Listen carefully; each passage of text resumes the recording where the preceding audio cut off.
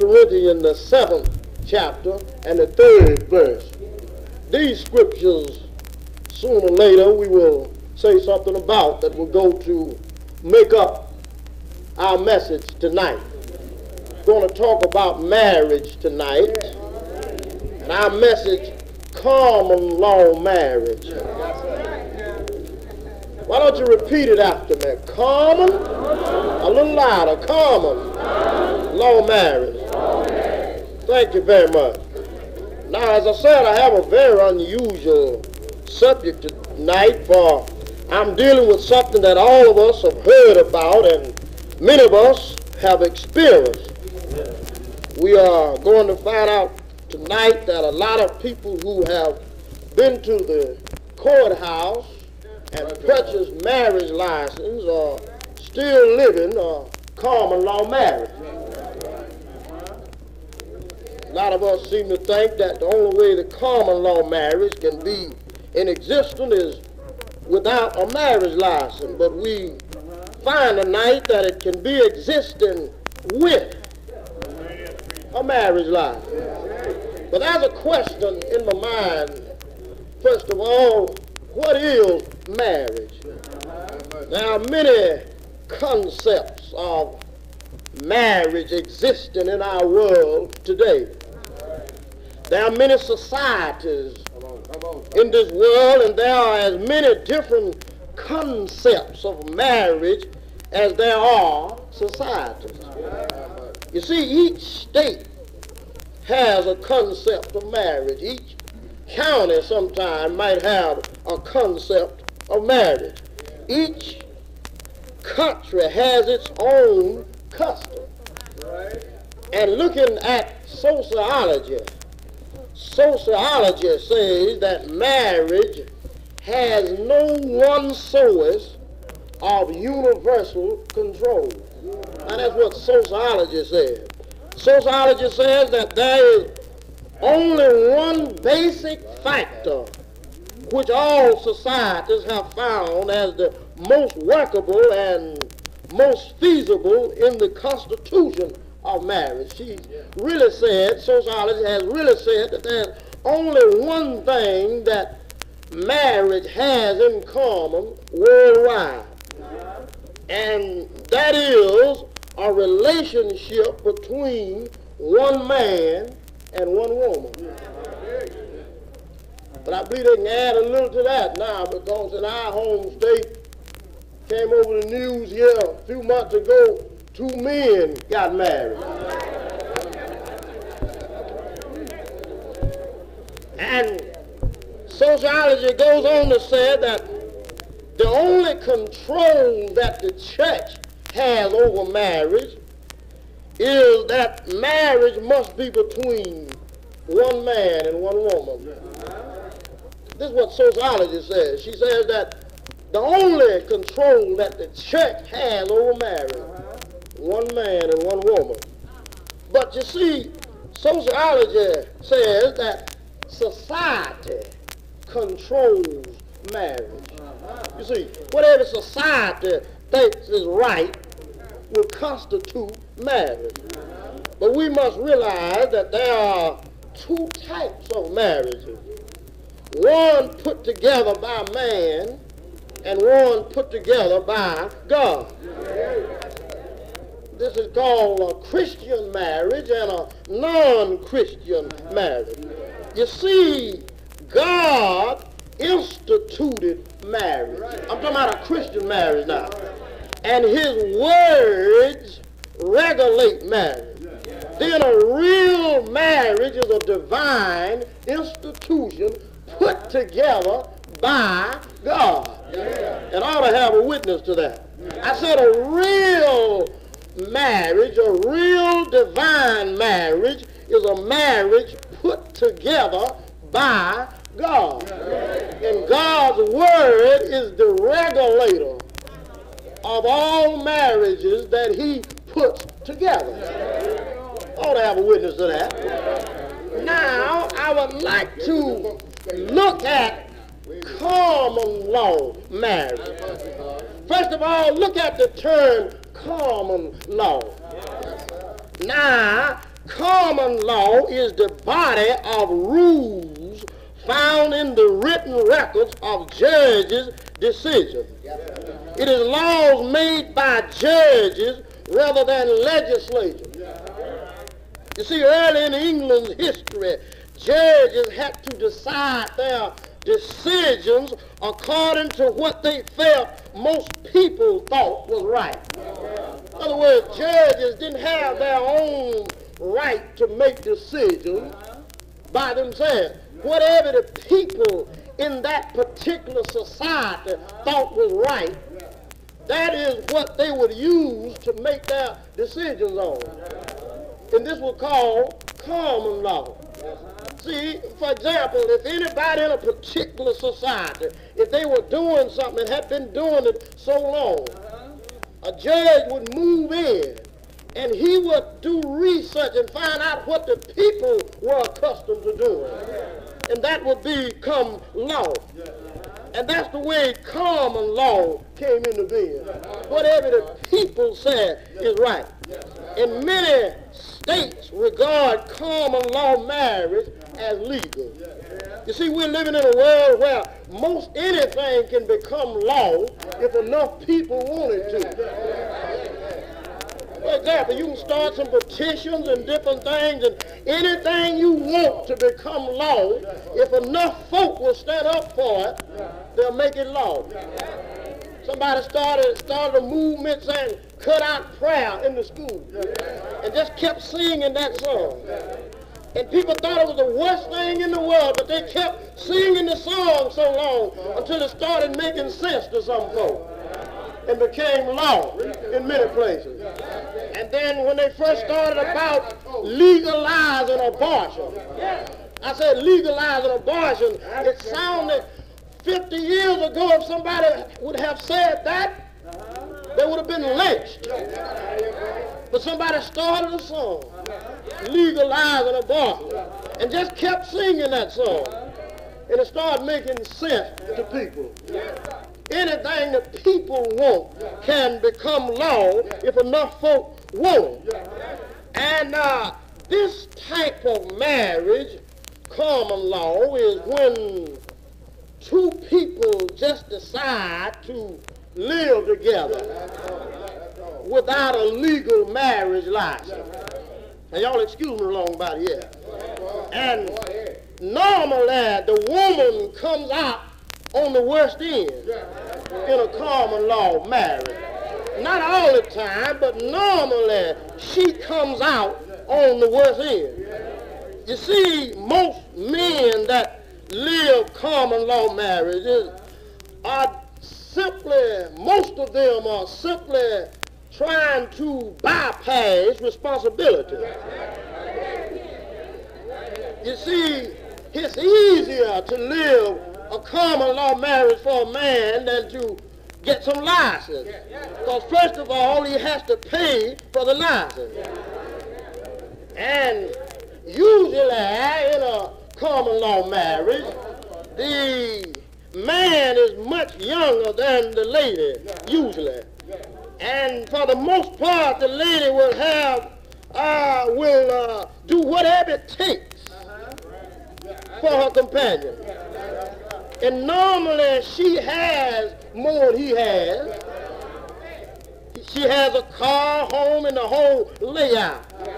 And this is very attractive to a young man. And she will gladly let the man come in just to play like they're married. And many times she is willing to take care of him. And whenever they get a house full of children, or it looks like responsibility is going to force in on him, he takes off and starts shacking somewhere else. You see, that's what they call a shacking, you see. You see, most people know that common law marriage is wrong because they don't even feel free in referring to each other as husband and wife. Usually they say my old man and my old lady.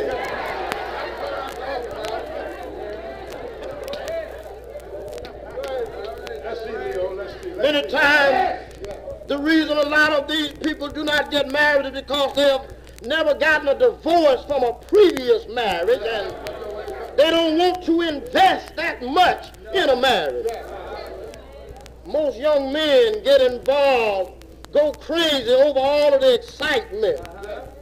Soon as mama trains him up, he leaves her and goes somewhere else. Also, an old man likes to shack with a young lady. Amen. Amen. And he will shoot anybody.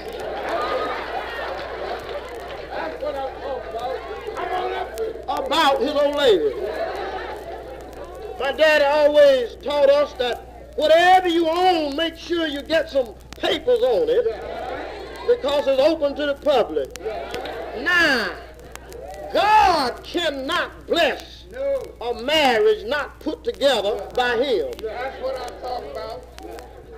He said, what he puts together, let no man asunder. Any marriage not of God actually is illegal or common law. Now I'm going to get on some more toes now. I'm leaving you all without the lies, and I'm going to jump on the one with the license.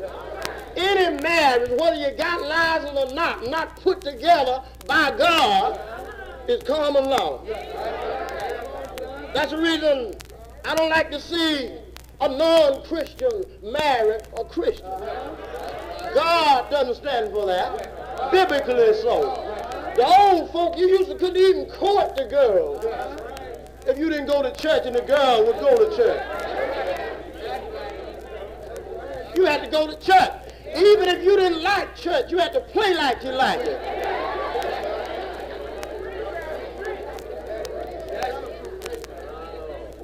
Young man, after he'd gone all over the world and done everything in the world, gets ready to settle down and go to run into the church, about, I want me an angel. Well, old folk wouldn't have that.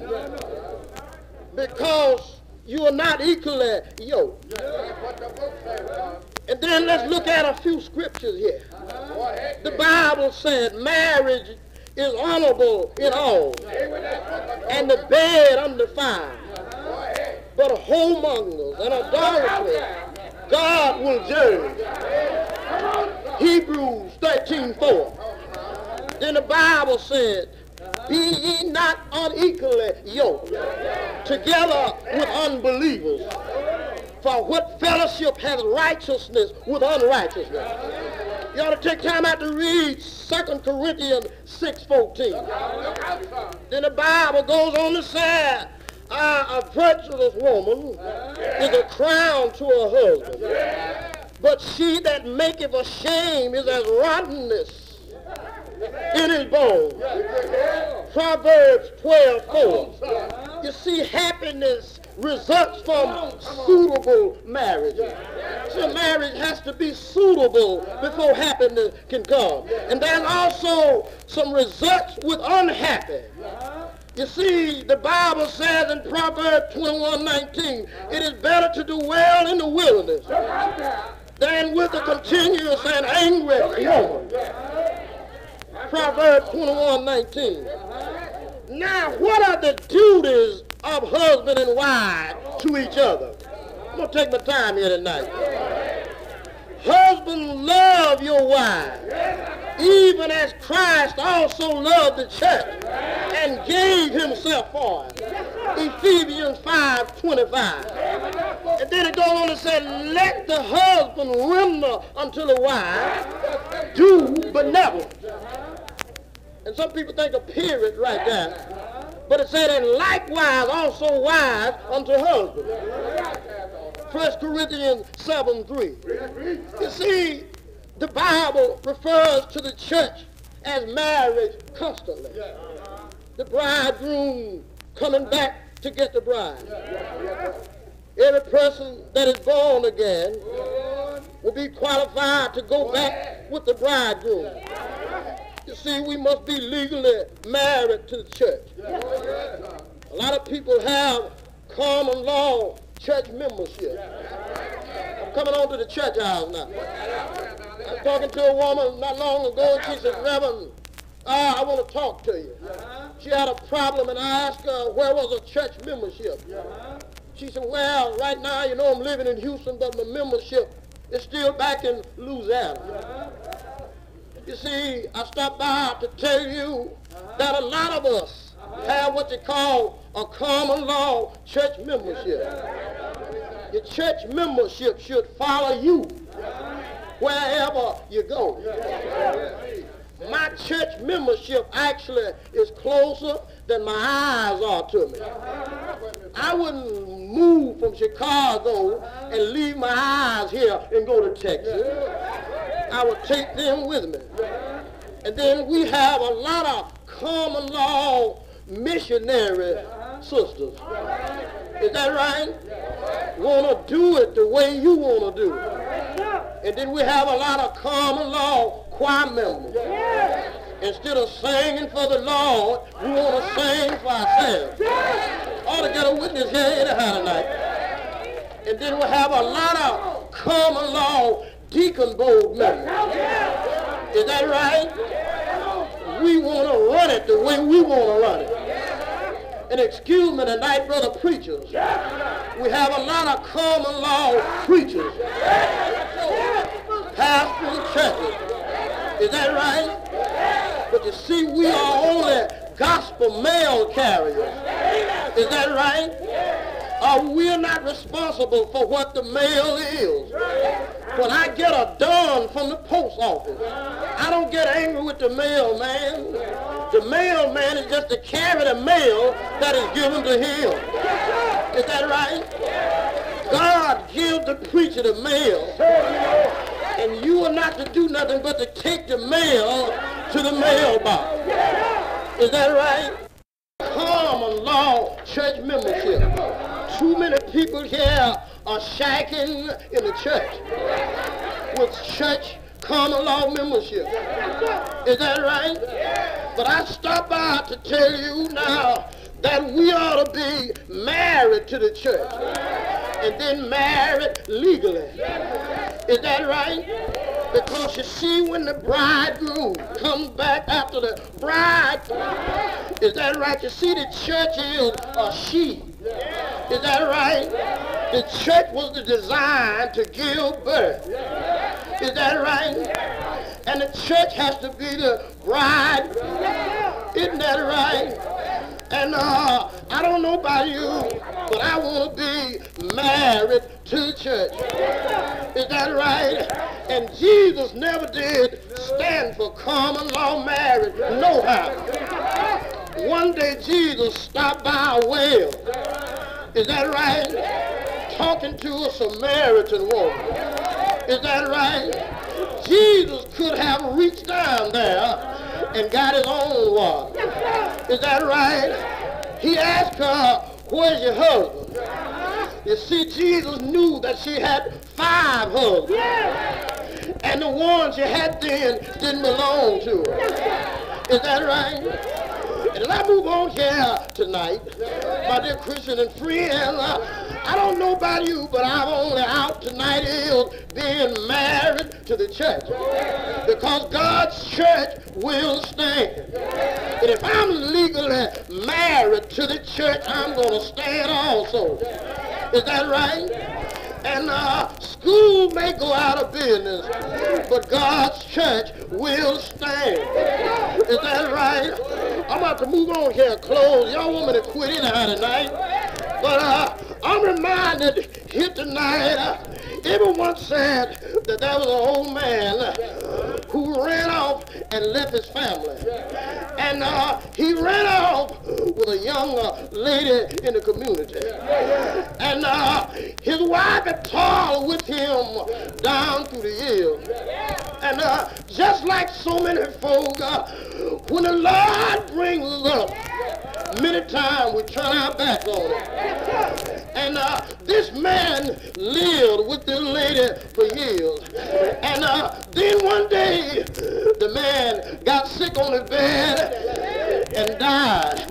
Oh, yeah. And uh, then they had a dispute over the property that belonged to the man.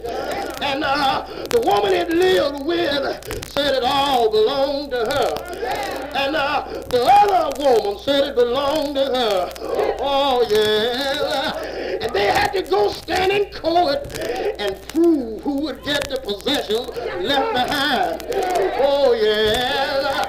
And, uh, during the court that day, they had the young lady there to stand up first.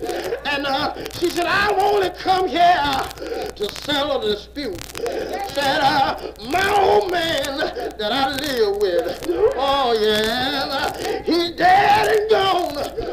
Everything he left behind belongs to me. Oh yeah. She said, I'm sorry for whoever else is left because I was by his bedside when he died. Oh yeah. And then she took a seat and the judge called for the other lady. Said, I understand there's another woman here that claimed to be the man's wife. Then an old gray-headed lady stood up in that court. Oh yeah. She had a walking cane in her hand. Yes, my Lord. She hopped up to the courtroom and said, Mr. Judge, let me have my speech here. Oh, yeah. She said, I heard the young lady said that that was her old man. Said, first of all, that disqualifies her right there. Said, I'm not going to refer to him as my old man. He is my husband. Oh, yeah. Yeah. The old lady went on to say, I toiled with him uh, for 35 years. I picked cotton with him. Uh, I to his children. Oh, yeah. And then the judge raised up his hand and said, wait a minute. Can you prove all of that? Yeah. She said, yes, sir. Can prove every bit of it. Uh, she reached down in a pocketbook uh, and came out with an old bag. Oh, yeah. She began to look in the bag. Yeah. She pulled out some marriage license and began to shake them. Uh, said, here they are. He belongs to me. Yeah.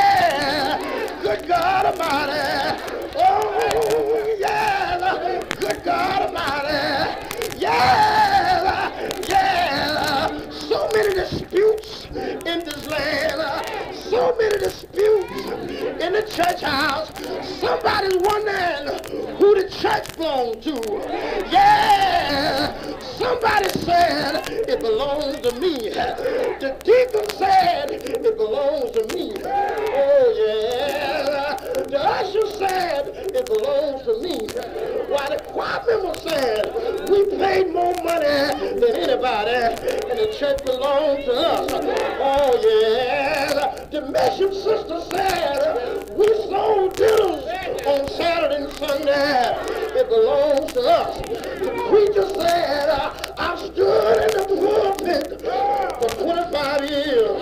I buried the dead. I'm married to unmarried. It belongs to me. Oh, yeah. But I want to stand up tonight uh, and defend the church. Uh, good God Almighty.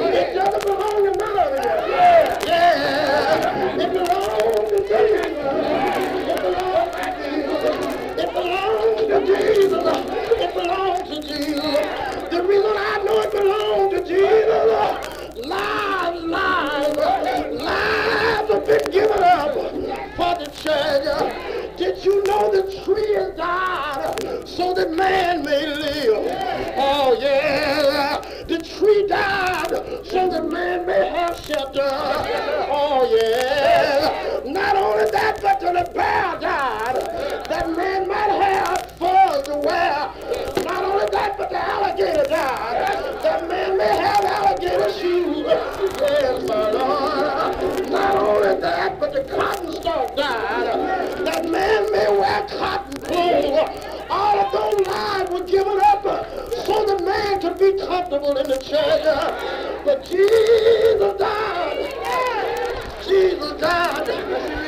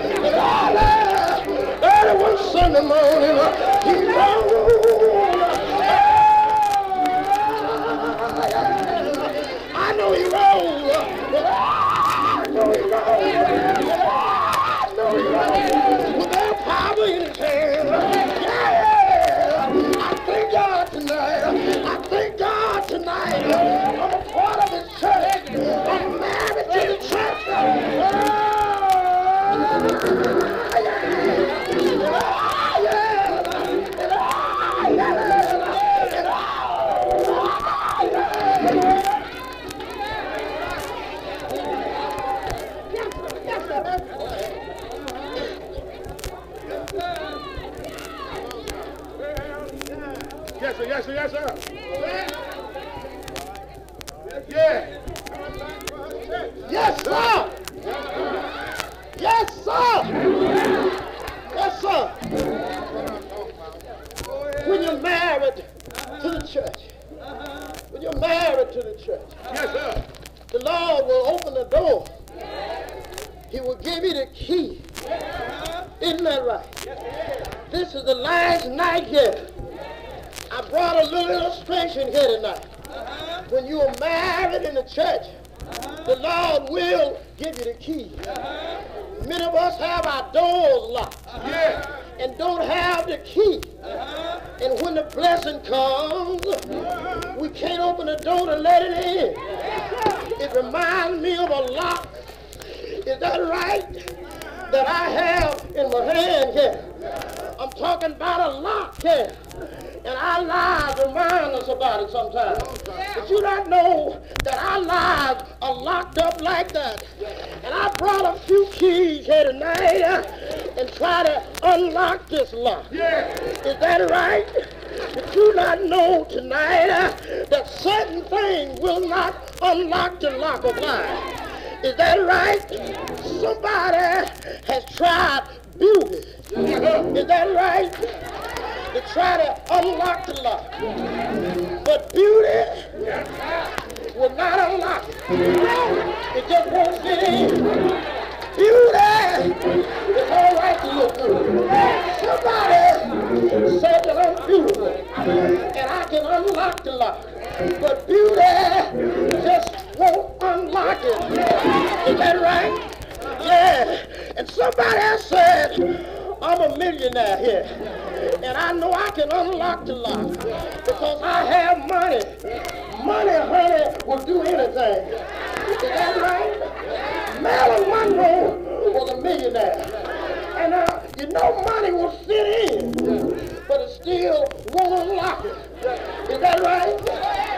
Money will fit in everybody's life, but it just won't unlock the lock.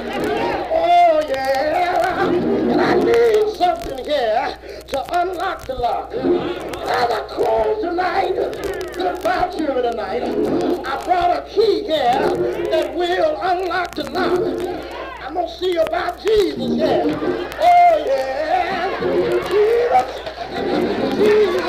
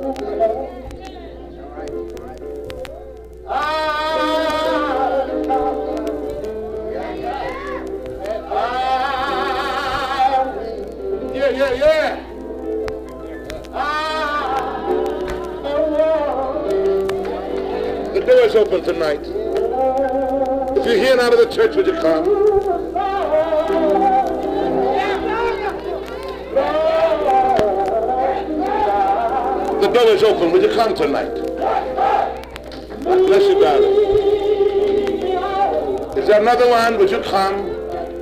The door is open.